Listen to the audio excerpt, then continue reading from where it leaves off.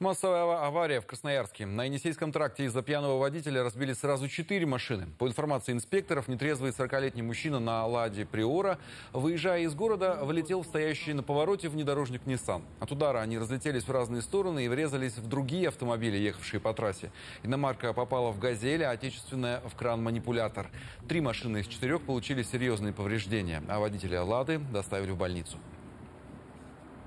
Самом деле вопиющий факт, когда водитель в состоянии алкогольного опьянения, а тем более а, имеется основание то, что он с превышением скорости двигался по дорогам общего пользования.